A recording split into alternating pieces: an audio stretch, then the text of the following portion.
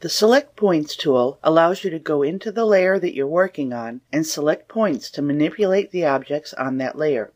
So right now I've just selected one point. You can also select multiple points. By default, it's set to rectangular selection. So if I click and drag, anything that is within that rectangle is selected. To add more points to a selection that already exists, press the Shift key while you make another selection.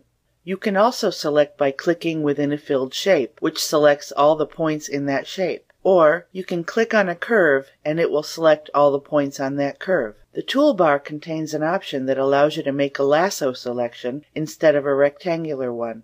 This mode allows you to draw an irregular shape around the area of points that you want to select. You can assign a group name to the selected points so that you can easily select the same points at any time. To create a selection group, select the points that you want to include in the group. Then type a name for the selection group in the Name field on the toolbar, and then click the Create button. Later, you can use the Select Group button to select that selection group at any time.